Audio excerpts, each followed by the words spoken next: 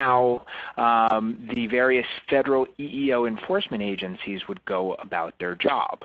Um, before that surprise night, uh, many of us were protecting essentially a continuation of what we had seen in the previous eight years under the Obama administration. Um, but with that election, we obviously had to rethink quite a bit. And so what uh, we're going to share with you today uh, are some of those thoughts, insights, perhaps predictions. We'll, uh, we'll dust out the crystal ball and, and see what that tells us.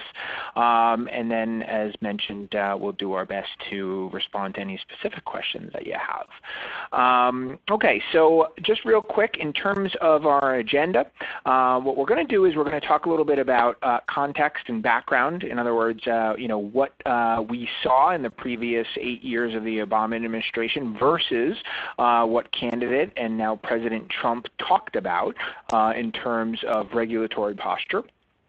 We're going to examine um, both the, the two principal EEO enforcement agencies, uh, the EEOC and the OFCCP, in terms of their enforcement priorities.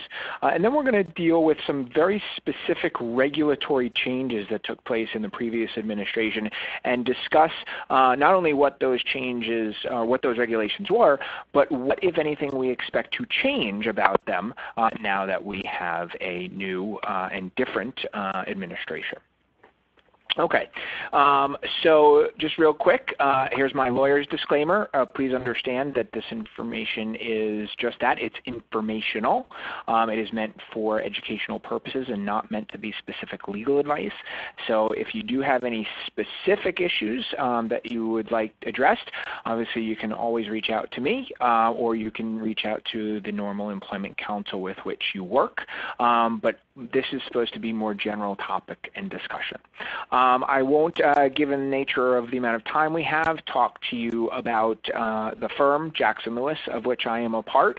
Um, and uh, Rathin already spoke about uh, who I am um, and specifically how I am the co-chair of Jackson Lewis's Affirmative Action and OFCCP Defense practice group, um, whereby um, or wherein I uh, oversee the preparation of, uh, as mentioned, a thousand affirmative action plans and uh, oftentimes hundreds of OFCCP audits in a given year. So, so we're pretty close to um, what goes on at the EEO enforcement agencies, and hopefully I'll be able to share with you um, some of that experience. Okay, so the big question is, is what should we be expecting uh, from the Trump administration um, when it comes to uh, Obama's EEO legacy? Well, the first thing that I would mention to you is nothing seems to be happening very quick. All right. Um, the president and his administration have been mired in a number of other issues, um, which has obviously been a distraction uh, from the business at hand. Uh, and so perhaps some of the key positions um, that would already have been filled um, had some of these distractions not taken place remain vacant. So much of the, the current administration's stamp, if you will, has yet to be left imprinted on the EEOC and the OFCCP. So um, with that, um, let's examine the Obama legacy, right? So what, what occurred under the Obama administration? Well, what we saw was a, a rigorous strengthening of civil rights and steps to ensure equal employment opportunity. Um, and we saw that in three primary ways. First, we saw the expansion of employment-related regulations. And, and oh boy, were there a lot of regulations that came out, many of which uh, impacted the government contractor community exclusively, but several that were more broad uh, in terms of their impact as well. So we had the Fair Pay and Safe Workplaces Executive Order. Uh, we had the Minimum Wage Executive Order order. Uh, we had paid sick leave executive order. Uh, we had the tra pay transparency executive order. Uh, we had a number of steps taken to help ensure protections for LGBT rights. Um, we saw a requirement related to posting union rights. Um, and uh, we saw the EEOC and OFCCP ramp up their enforcement initiatives. So what you heard there is a whole lot of executive order discussion, right? And that's because Congress, um, which was controlled by a different party uh, during the Obama years uh, for the majority of it, um, was certainly not going to get behind legislative changes. Uh, and as a result, um, the president used the power of the purchasing uh, responsibility that the executive branch is responsible for issued executive orders, um, and that's where many of these regulatory changes came from. So that was the first way that they strengthened um, the civil rights and EEO um, protections out there. The second was with regard to enforcement. Um, both OFCCP, EEOC, and the Department of Justice, for that matter, were very, very rigorous uh, around the enforcement of the EEO laws. And all of them had systemic initiatives um, that they rolled out, updated, and were measured against uh, during those many years. Um, and then third, we saw a concerted effort to expand the protections of the various EEO laws. Um, some, some classic examples of that would be um, uh, sexual orientation under Title VII. So previously, um, the EEOC had not taken the position that sexual orientation was explicitly covered and protected by Title VII, but they switched gears under the Obama administration. And many of those cases that were brought actually are just starting to wind their way through the courts uh, at this point in time. Um, and we obviously expect that the Supreme Court is going to announce sort of a final determination as to whether or not that's protected under Title VII. Um, other examples would be uh, around um, enterprise-wide issues like pre-employment checks, uh, criminal backgrounds or credit and that sort of thing.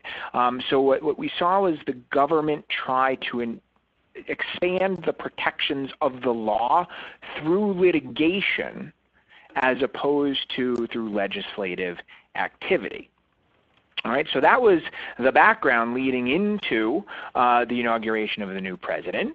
Um, so we have the inauguration of the new president in January of this year, and now Republicans control the White House and both houses of Congress, uh, and some would say that the conservative wing of the Supreme Court controls the Supreme Court. So you basically have a full house, um, if you will, or a straight flush, if you're a poker fan, uh, with uh, the Republicans in positions of power right now now.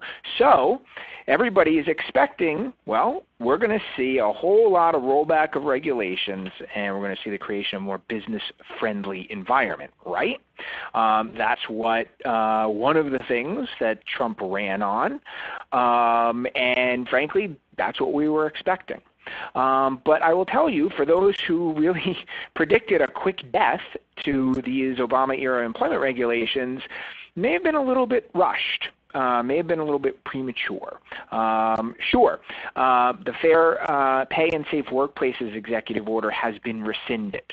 Um, that was essentially put on hold by the federal court system anyway. Um, so Congress just passed a law saying we disapprove, and then President Trump signed a countervailing executive order, and it's gone. But everything else that we discussed at the outset and that we're going to go through today is still on the books and still applicable. So as a consequence, uh, what we really need to start thinking about is, okay, are those regulations here to stay in their current or perhaps a modified form, or are they likely to go? All right, so that's what we're going to spend a fair amount of the remainder of the time that we have here today together uh, discussing. Okay, so let's talk about enforcement priorities. All right. So two different agencies we're going to focus on today are the Equal Employment Opportunity Commission, or EEOC, and the Office of Federal Contract Compliance Programs, or OFCCP. So if we start with the EEOC, uh, again, to pre present the historical context, we need to understand what was taking place before. And what was taking place before was that the EEOC was charged with tackling um, a number of areas related to equal employment opportunity, in particular as it related to systemic issues. Um, but that being said, there was also a clear mandate that the EEOC's job or focus should be to expand the protections of the law by taking on where the law may be unsettled or we thought it was settled, but there might be an opportunity, a fresh opportunity to expand those boundaries. Right? So the EEOC was charged with that effort. Um, two great examples I mentioned before were the systemic initiatives um, and the issue around LGBT protections. Um, However, we now see that uh, with a Republican president and Congress controlled by Republicans, um, the EEOC's job may get a little bit more difficult um, because it wouldn't be surprising if their budget is reduced, um, thereby cutting off some of the resources that the agency would have had otherwise. Um, in terms of some things that have changed over at the agency in recent weeks, um, so we just recently had uh, a nominee for the head or the, the chair of the EEOC, um, and that is an attorney by the name of Janet Dhillon. Prior to that, uh, we had an acting chair, uh, Victoria Lipnic. Um, both of them are Republicans. Um, and at least at present, um, we're just waiting for a couple terms to expire. Um, we have a balance of power actually in favor of Democrats, but that is very soon going to end. Um, and there is a vacant seat which will be filled potentially by uh, Victoria Lipnic now that um, Dhillon has been nominated to uh, get the chair. And we don't see any reason, by the way, um, for, for Janet Dhillon not to be approved by Congress. Um, she has management side experience, both in-house as well as with, uh, with her uh, previous law firm. Um, she is um, a supporter of, of Republican uh, political candidates historically, um, so she's going to be, in all likelihood, a pro-business leader of the EEOC. But the EEOC is a unique entity because the EEOC is made up of five members, right? And so each one of them has a vote with regard to uh, certain aspects of their enforcement initiatives. Um, so it's not as if she comes in and everything that was um, being undertaken under the previous administration disappears. Um, so, so what do we know the EEOC or expect that they're going to be doing over the next several years?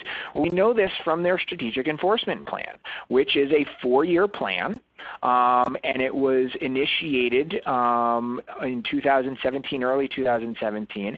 And many of the focal areas of this enforcement plan are the same that they've been historically. So eliminating barriers in recruiting and hiring, such as with pre-employment testing or checks. Protecting vulnerable workers, namely immigrants. Um, addressing emerging issues. Um, so a, a, good example of emerging issues uh, is discrimination on the basis of religion, for example, against Muslims or individuals from the Middle East. Um, ensuring equal pay is a big one has been a big one, will continue to be a big one, uh, and more on that uh, in just a few moments. Uh, preserving access to the legal system. All right, so there has been a, a growing conflict, if you will, uh, amongst the employer and the employee communities, the civil rights communities, over access to court uh, in the form of lawsuits. Um, many employers like to use arbitration agreements, and some arbitration agreements prevent, for example, class actions. Um, and so the EEOC historically has looked at those types of agreements um, skeptically. And we may see some softening of that posture. But as a general rule, the EEOC is always going to want to make sure that individuals who are believed to have been aggrieved by their employers are going to have access to the legal system. Uh, and then finally, preventing uh, systemic harassment, uh, which according to uh, numerous reports, surveys, um, and evidence presented to the EEOC continues to be a problem. Um, so if the systemic, the, um, uh, the strategic enforcement plan appears to be unchanged from what was being utilized under the previous administration, what is going to change? Well, I think what we're going to see um, are two primary changes to the way the EEOC does business. Number one, we're going to see fewer regulations, right? So we don't anticipate that EEOC is going to do a whole lot to create additional regulatory obligations for employers. If anything, they may revisit previously issued regulations um, and try to modify them to create a lesser burden for employers, or perhaps they might actually just get rid of certain regulations in their entirety. Um, but the other thing that we're expecting is a retreat from the notion that um, the EOC should be litigating cases to expand the protections of the Equal Employment Opportunity laws. I think their their approach will be we will strenuously and aggressively enforce the rules as they exist, right? So quite a literal interpretation of these laws, but we're not going to look for opportunities to expand them beyond the four corners of these laws. Pretty much in line with some of uh, the Supreme Court members' ideas on statutory enforcement. So that's what we're, we're looking for from the uh, EEOC. Let's switch gears now and talk about the OFCCP for a moment. Um, so the OFCCP um, has uh, a vacant directorship right now. Um, it falls under the U.S. Department of Labor, and therefore um, it, uh, it, reports directly up to the Secretary of Labor, who currently is uh, Alex Acosta. Um, and at some point, we would expect the uh, appointment of a new OFCCP director. Um, but the OFCCP is going to have its hands full uh, in terms of shrinking resources, and as we'll talk about in just a moment, uh, potentially some reorganization. So first, um, whether it's Congress's draft budget, whether it's the president's draft budget, we are seeing a, an across-the-board budget cut for the Department of Labor, um, and this is going to impact the OFCCP in particularly, in particular, uh, very harshly. Um, so first thing is we're going to see their resources cut significantly. Um, and that may have a significant impact on the way it conducts business. So for the last, oh, I don't know, seven years or so, since the previous OFCCP director, Pat Shiu, had been appointed, OFCCP followed what they called their active case enforcement process. Active case enforcement was basically the internal playbook utilized by OFCCP in terms of how it conducted its compliance evaluation duties and responsibilities. Right? So OFCCP is responsible for conducting audits of federal government contractors and subcontractors to ensure that they are adhering to the various rules and regulations applicable to that set of employers. Uh, and it's, that's their principal means of enforcement, and it's very different, obviously, than what the EEOC does, which is primarily responds to charges of discrimination that walk in the door from complainants. OFCCP is out there affirmatively touching the government contractor community with these audits to ensure compliance and this active case enforcement strategy utilized by OFCCP under Pat Shiu was a in-depth analysis. In every instance where a compliance review or audit was initiated, initiated a full-blown review took place. And I would contrast that with what was done under the previous administration, under the Bush administration, whereby the agency again hampered somewhat by a smaller budget, approach things from an active case management standpoint. That was their terminology. And they did less thorough reviews, looking for clear indicators of noncompliance as opposed to digging and digging and digging in every particular review. And that allowed them to touch that many more government contractors. Um, where they found violations, they pursued them very aggressively, um, but they just didn't find as many per capita per se because they weren't looking that closely. Um, so some would argue that it was more effective because they touched more contractors and certainly more efficient given the resources that they had. The contrary argument is, well, who knows what you passed over because you didn't look closely enough. Bottom line is um, we're expecting that the OFCCP is likely going to uh, take a step back, um, perhaps retreating to this idea of active case management, doing more with less. And I know that's cliche, um, but if they're facing um, budget cuts, uh, they're going to have to do more with less. Um, OFCCP has recently come under some fierce criticism also um, in terms of some of its enforcement methods, um, and that was highlighted in a General Accounting uh, Accountability Office um, report. Um, and so what we may see again is this idea of doing more with less and more collaboration between the OFCCP and the contractor or regulated community here. One of the things that uh, was pointed out um, in that critical report was that the OFCCP did away with a lot of its compliance assistance tools um, that um, they were they made available in the previous administration. So compliance coordination, offering awards that recognized employers who did a particularly good job with their compliance programs, um, all of that was done away with um, under Pat Shiu.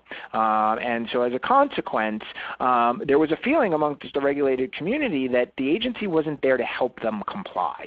So one of the things that we would anticipate um, under the new rebranded OFCCP whenever they get a new director is a resuscitation of efforts to cooperate, collaborate, and work collectively with the regulated community to help ensure compliance through voluntary compliance as opposed to uh, forcing employers to do things at the barrel of a gun uh, with the threat of violations or enforcement activity. Um, so, so that's a sense of, of where we see the OFCCP going. Um, now, we have to chat briefly about the concept of a merger between EEOC and OFCCP because it has been put on the table. All right. Now, where does this come from? Um, well, this idea comes from a white paper that goes all the way back to the Reagan years. Um, and it's a conservative think tank that every time a Republican administration uh, takes over the White House, um, basically says there's no need for the two agencies. Let's just collapse them into one, uh, and that will save lots and lots of money um, and do away with redundancy and red tape and, and uh, burden for the regulated community. Um, and so sure enough, um, this thing was resuscitated and trotted out, the dust blown off um, after the inauguration. And uh, folks in the Trump administration have seized on this uh, and, and actually floated it as part of their most recent budget proposal, the idea that the two agencies would be merged. Um, and the two agencies have been ordered, if you will, to look at um, how that could take place. Um, I will tell you a merger is unlikely. Um, and it's for a few reasons. Number one, um, everyone except pretty much the author of that white paper um, who has heard about the idea of the merger has come out against it. Um, so strange bedfellows have emerged. For example, the Chamber of Commerce um, the, and the NAACP both oppose this. All right? So if you've got pretty much everyone opposing it, including the regulated community, it's hard to think that the administration would force this uh, on the regulated community. But there's also a practical um, um, item that we need to consider here, and that is this merger cannot be done by executive fiat. And the reason for that is because the OFCCP, which enforces an executive order and two statutes, um, the, at least the two statutes come from Congress.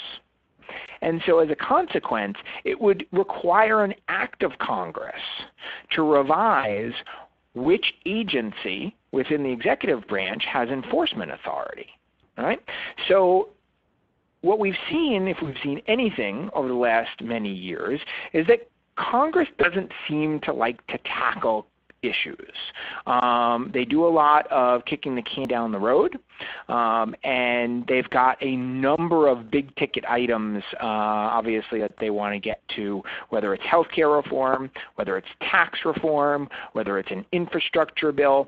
I just don't see a whole lot of appetite for tackling the reorganizational needs um, of uh, the legislation that would be necessary here in order to create uh, a situation where the two entities could merge. Now, anything can happen. Um, so I'm not going to bury the idea completely. I'll just share with you that we believe it is unlikely to take place. Okay, so now what we're going to do is we're going to change gears a little bit and we're going to talk about some specific issues um, that um, um, are, I guess if you call them the legacy of the Obama administration, at least from an EEO perspective. Um, and we'll talk about what we think is going to happen with those particular issues, um, specifically around regulations uh, or enforcement uh, approaches that we've seen uh, under the previous administration. So let's start with pay equity. And there's, there's quite a bit to unpack here. So we know uh, that pay equity was a big, big deal under the Obama administration. The very first, first piece of legislation signed by President Obama was a fair pay law, right, the Lilly Ledbetter Act. Um, we know that the White House uh, put together a pledge for public companies to essentially uh, uh, assert um, that they will ensure that there is no pay discrimination in their workplaces. Um, there were directives given to the EEO enforcement agencies to ensure that equal pay was a part of their enforcement strategies, uh, their enforcement priorities. So we know how Obama felt about pay equity. What about Trump? Well, we honestly don't know a whole lot um, Ivanka Trump, his daughter, um, who um, has been an advocate for the president on family and women related issues. We know where she stands, um, and she very much believes in the idea of equal pay for equal work. Um, President Trump has said some things, but frankly, they're not terribly specific, um, and they don't indicate whether or not he would support continued equal pay enforcement efforts or something less than that. We, know, we don't know that he would support equal pay legislation that has been introduced uh, year after year in Congress. Um, so, so that's something that we, uh, we have to pay attention to. But for a lot of people, what this suggests is that, you know what? These equal pay initiatives may continue even under a Trump administration. All right, so let's unpack that a little bit further. OFCCP Directive 307. So when OFCCP was given the marching orders from President Obama to make equal pay a key component of its enforcement strategy, they issued an internal directive to all of the enforcement personnel at the agency, um, what we call Directive 307. And basically what it did is it rescinded old, what it called uh, restrictive guidelines um, and um, directions that the agency was supposed to follow when it came to identifying uh, and then remedying cases of pay discrimination, and essentially loosened the rules. Um, if you think about it, um, if, if you were a plumber and you only had one tool, a screwdriver, well, there's probably only so much you could do to fix plumbing situations. Um, Directive 307 essentially gave the plumber an entire toolbox and said, use whatever tool is necessary to get the job done. Um, so this really un, you know, shackled the agency um, and allowed them to pursue um, pay claims much more aggressively. Um, but it was frustrating to the contractor community because you never knew what the agency was going to be doing. You never knew what tool it was going to pull out of its toolbox. And one of the things that the agency began doing, um, again, much to the chagrin of the regulated community, is it moved away from looking at truly similarly situated individuals, people basically doing the same exact job, and started aggregating multiple jobs into pay analysis groups. And this was intended for two reasons. One, the power of large statistical data sets. Um, larger data sets tend to be more robust, um, and they have the added benefit of more often showing statistical significance when you're comparing pay rates by race and by gender. Um, so, so that was one benefit. The other benefit was um, it, it avoided a situation where employers tried to get into the weeds about individual pay decisions thus making it more difficult for employers to defend their pay practices. Um, all well and good if you, from the OFCCP's perspective, but very frustrating to the regulated community and, and critically contrary to Title VII case law. So this is a great example of where under the OFCCP or under the Trump administration, we don't expect the OFCCP to stop looking for issues of pay discrimination. But what we can anticipate reasonably is that they're not going to push the boundaries of the law. They're not going to try to bring claims that say people who are not really similarly situated can be compared together. Um, that comparable worth theory will probably be shelved once again, um, and the OFCCP will enforce things as the case law suggests that they should. Um, but that doesn't mean the regulated community is sort of off the hook there um, because where the federal government has failed to act in recent years or been hamstrung in their actions, um, the states have set up to fill the void. Um, and there have been a rash of new and, and uh, updated equal pay laws at the state level. Uh, California, New York, Maryland, Oregon, Massachusetts, the list goes on and on and on.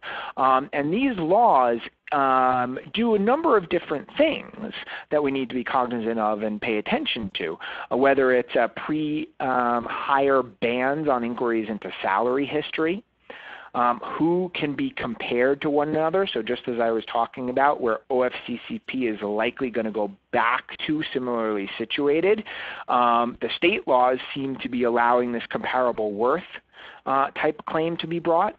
Um, looking at the concept of total compensation as opposed to just base salary. Uh, the concept of pay transparency, not prohibiting employees from discussing their terms and conditions of work, at least as it relates to pay. Uh, ensuring that employees who do that are not retaliated against. Um, and then limiting the defenses available to employers um, and increasing the damages available, thus making these cases more attractive to plaintiffs' attorneys. So where the federal government won't act, we see the states stepping into the void. Um, Next in our list of pay equity issues um, is the new EEO-1 report. Um, and this has caused a lot of frustration and consternation amongst the employer community.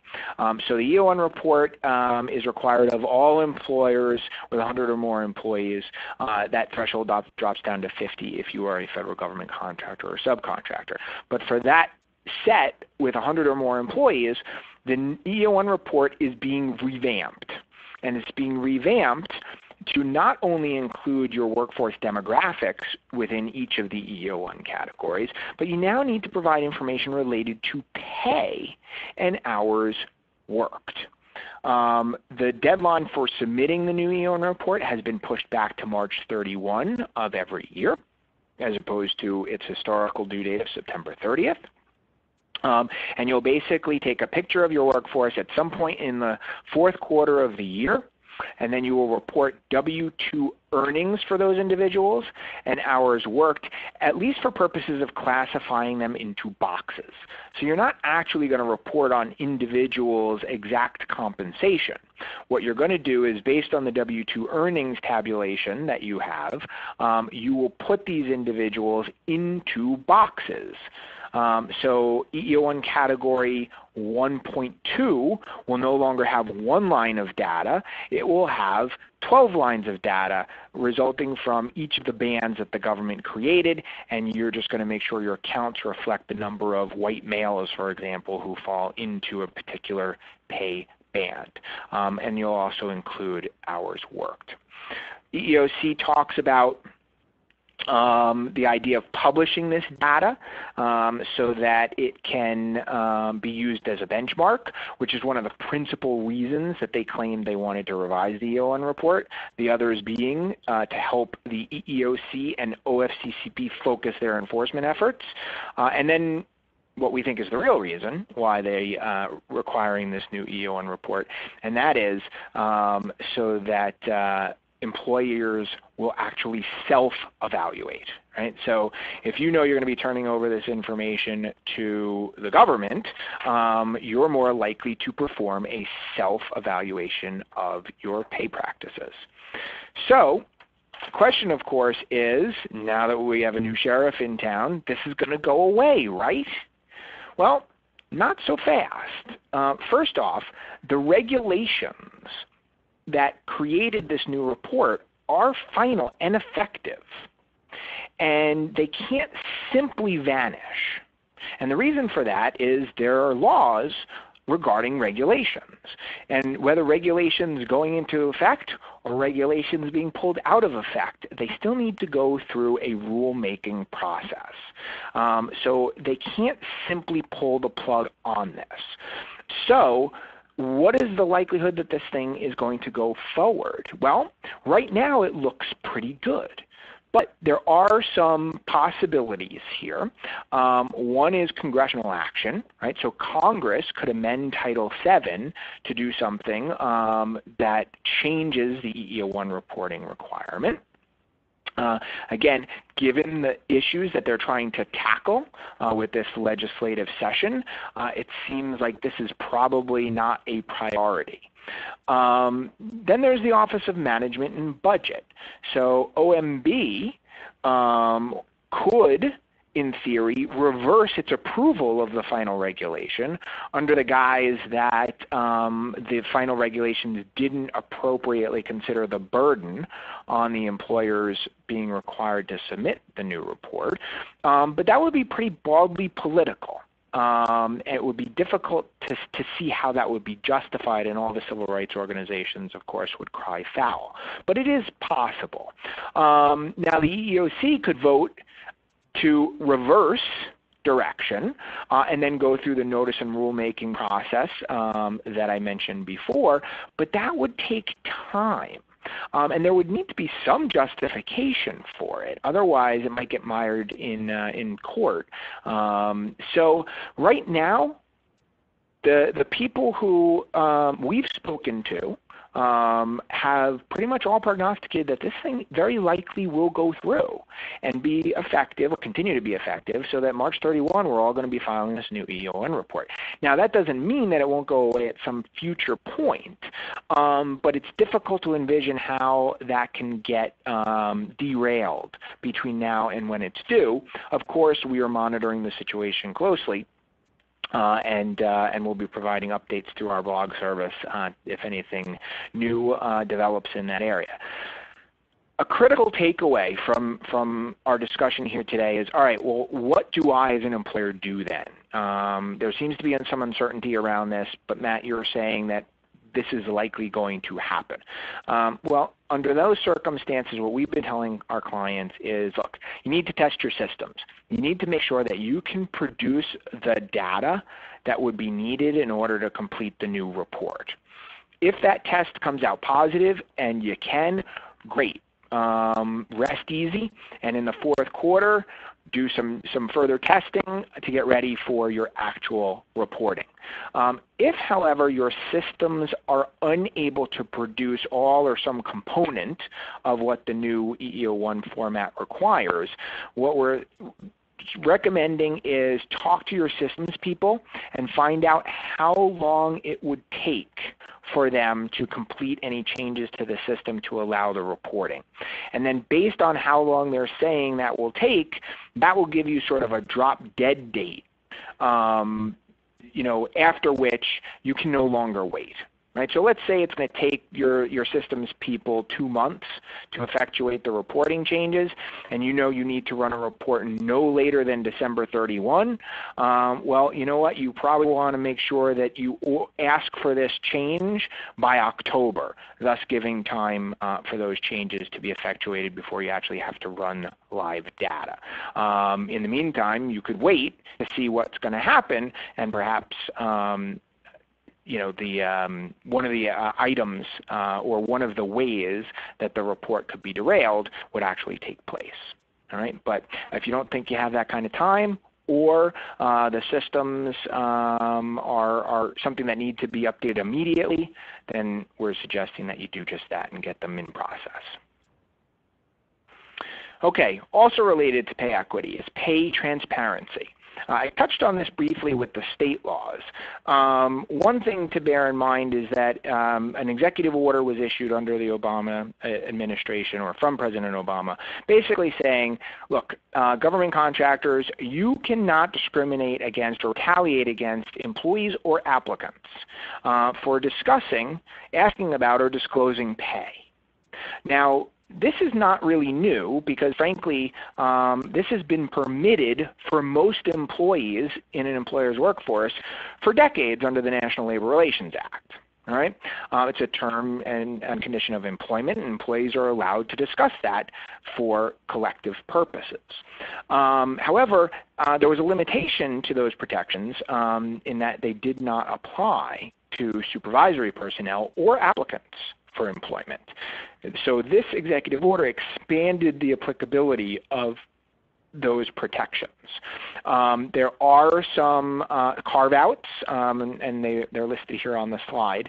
Um, but importantly, the question is, of course, is this going to be rescinded? The answer is it easily could be. This was an executive order. All President Trump needs to do is sign a countervailing executive order, and it goes away. But this isn't particularly controversial, and it's not really burdensome um, because it's just a protection. Now, right now, the OFCCP's regulations on this require um, a posting. Uh, so perhaps the regulations get modified to eliminate the posting requirement. Um, but since this doesn't seem to be particularly controversial, there is a reasonable possibility that this is going to stay.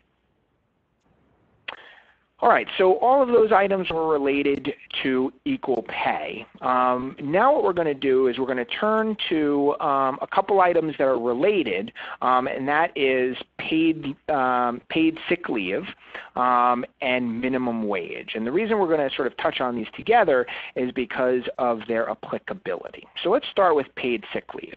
So effective January 1 of 2017, for certain covered contracts, the requirement um, to offer paid sick leave to employees applies. Right? Now, what is um, you know the type of leave? Um, it can be used for a lot of the same reasons you think about when you think about FMLA. So employees' own illness or health needs, um, family members, um, or uh, adding um, if they are victims or subject to domestic violence or abuse. Um, so basically employees would earn one hour of paid sick leave for every 30 hours work with a maximum of up to 56 hours. Um, and um, employees can carry over a maximum of 56 from year to year. They can never exceed the 56 unless of course you have a more generous policy. So for those contracts for which this requirement was applicable, that requirement went into effect January 1 of 2017. Many employers have ignored this, assuming that President Trump was just going to get rid of it. But guess what? It's still with us. All right? And there's a reasonable chance that it will continue to stay with us, at least for the time being, because Trump actually has made several statements in support of the idea of paid family leave. Um, and his daughter um, is very much in favor of that as well. Now, traditional conservative Republicans probably not big fans of the idea of putting another regulatory burden on employers, especially in the form of a paid leave requirement. Um, but there's actually a, a um, some legislation out there that is pending um, in Congress, which would provide just that. Now, there's there's a give and take here that we anticipate, um, but uh, there may be legislation that makes this executive order and the resulting regulations unnecessary. So, for the time being, we probably expect this to stay in place uh, until some legislative activity takes place, or if that legislation gets derailed or there doesn't seem to be any consensus about it, then what we may see is this regulation rescinded in its entirety or perhaps revamped to be a little bit more employer friendly. Now, this requirement has limited applicability in that it only applies to certain types of contracts. Specifically, contracts are subject to the Service Contract Act, contracts covered by the Davis-Bacon Act, construction, um, contracts for concessions, and contracts for use of federal lands. Right? So for the most part, if you're selling widgets to the government directly or indirectly, this is not going to apply to you. All right. So at least if you're covered by one of those four types of contracts and it was entered into between January 1 of this year and the present, then that provision related to paid sick leave is going to be in there, and you're required to comply with it. Now, the minimum wage rule is similar and has been in effect for a lot longer period of time. It's been in effect since January 1 of 2015, with the minimum wage on covered contracts being $10.20 an hour. This requirement applies to the same types of contracts that the paid sick leave requirement applies to. All right, so Service Contract Act, Davis-Bacon Act, concession agreements, and contracts for the use of federal lands. Um, now, this looks like another great example of government, you know, butting in and, and making business more difficult, especially for small and medium-sized businesses. However, this one's a little bit more difficult to rescind. Why? You think about it just in terms of, of practicality. Right? If you've got certain individuals who are making the minimum wage, are you going to start hiring new people in um, into those same jobs and paying them less? That's probably going to cause uh, a employee relations problem. Or even even more drastic, are you going to take money away from these people? Are you going to reduce their rates of pay? Probably not. So the genie's already out of the bottle on this one. So chances are uh, we're going to see this um, stay as is. Uh, again, perhaps there would be some noodling around the edges um, whereby it becomes a bit more business friendly, maybe in terms of who this applies to, uh, or perhaps um, you know the idea of when it changes. Right now, it can be changed on an annual basis, um, but there's a decent chance that this one is going to stay in place because it's already taken place. Folks are employers are already paying people that minimum. Okay, and that brings us to the home stretch here, um, and that is um, LGBT rights. So um, during the Obama years, he issued an executive order um, and that executive order applying to the federal government contractor community prohibited discrimination on the basis of sexual orientation and gender identity. Um, and so that was the first time that any federal Act actually protected these groups. Uh, and so all federal government contractors and subcontractors were now required to ensure that non-discrimination uh, was the norm when it came to these, uh, these individuals. Um, and so OFCCP was responsible for ensuring that that uh, took place, and employees uh, or applicants could file charges of discrimination with them um, if they believe that they were somehow discriminated against on the basis of their sexual orientation and or gender identity. Um, in addition, uh, the Obama administration, through the Department of Education, issued uh, what they call Dear Colleague letters um, on transgender students, specifically saying, look, if you want to ensure that you receive certain federal funding for your educational institutions, you need to make sure that transgender people, uh, students are protected um, so that they can basically use bathrooms uh, that ascribe to their gender identity. So what are we expecting under Trump? Well, one of the early policy debates within the administration was just over this issue. Is this executive order going to be rescinded or is it going to stay in place? Certain factions uh, within the administration were very much about rescinding this, not because of government overreach, but because philosophically they were opposed to the idea of protecting individuals of this type of background. Um, and then there were more progressive voices, uh, including um, the president's daughter uh, and Secretary of Education Betsy DeVos, uh, who actually said, no, don't do that leave it in place. Um, and so there was a, a statement made by President Trump that, you know what, we're going to leave that executive order in place, certainly for now. Um, so, so that executive order is safe along with its implementing regulations. However, it's not the end of the story um, because those Dear Colleague letters were actually rescinded or superseded by a further uh, Dear Colleague letter that went out, which basically said, um, look, um, you're not going to jeopardize federal funds if you decide not to grant bathroom access, for example, to transgender students. Um, what we're going to let you, as an institution in your state, decide this for yourselves. Um, we also saw that um, President Trump signed an executive order which was somewhat vague, but essentially what it did is it charged the Department of Justice with looking at instances where the federal government, in its opinion, um, was in some way, shape, or form interfering with religious liberty. So, you know, the, I think the classic example might be, uh, right, the, the wedding cake for a gay couple. Um, if an employer decides it doesn't want to contract with that couple for purposes of procuring the cake, um, should they be entitled to do that, even though in likelihood that violates federal and state and local non-discrimination laws? Um, and so the Department of Justice is currently weighing the idea um, or the concept of when do non-discrimination laws get trumped, uh, excuse the pun, uh, by the freedom to exercise religion.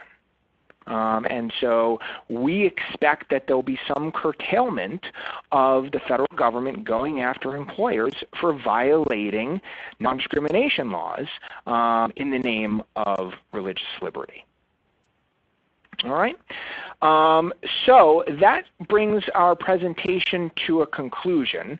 Um, here's information on how to contact me um, if you do have questions that you want to talk about that we don't get to today. Um, I would also um, recommend, if you're so inclined, to sign up for our blog. It's a free service um, and it's a great way to stay abreast of developments uh, in all of these areas. All right. Um, with that, Rathin, if you want to bring us home before we do our Q&A. Sure. Um, thank you again, uh, Matt, uh, from all of us here. Uh, I thought it was a great presentation, insightful, thoughtful, and interesting.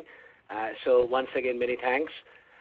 Now, before we move on the Q&A, and I don't know how much time we'll have for Q&A, I just wanted to take a couple of minutes to talk about, you know, Job Finder Network and how it helps our users with their EEO web-specific compliance and internet recruitment.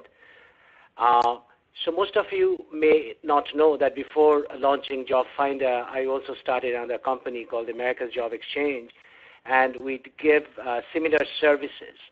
Uh, but it is definitely a next generation uh, platform that we built with input from a lot of HR and recruiter recruiting professionals. And it's really an all-inclusive internet recruitment solution for compliance. Uh, it does uh, job postings automatically from your career site uh, on specialized job boards. It does job posting and distribution to all the state job boards, the EESDS, the Employment Service Delivery System, uh, more than about 6,500 diversity organizations, and so on. And finally, uh, we believe that we have created a truly next generation compliance reporting that has comprehensive reporting of screenshots of posting, distribution, uh, and everything else. Uh, and so that you can keep them and just forget about it. And if there is an audit, obviously you can retrieve uh, all that information. Again, you know, the purpose of this uh, webinar was, uh, and again, thanks to Matt, is more educational than to really talk about our companies or our firms. Uh, so uh, I would stop there. And obviously, uh, you can uh, read more about us. you can, you know, give a demo, or you can, you know, send your questions or any kind of feedback to me or to Matt. Now, I'm trying to figure out if we have any time for questions and fundamentally how to, in fact, take questions. So let me go back to another uh, system. You can give a chat. Uh, you can submit your presentations, and or we can obviously go back uh, and, and send emails directly uh, to uh, uh, to Matt or myself anything, uh, should we continue or should we, uh, I'll take any questions. Anybody has any questions? Let me see if I can move to a different format here. Uh, let me that can be done. Okay. Uh, so I uh, do not know uh, if we can do really a proper uh, presentation right now. So why don't, uh, I mean, Q&A session right now. So may I suggest uh, everybody to send the questions and I would hand over them to Matt for the sake of time and, and so on. So that way we can, mm, we can address them properly instead of, you know, in a rush.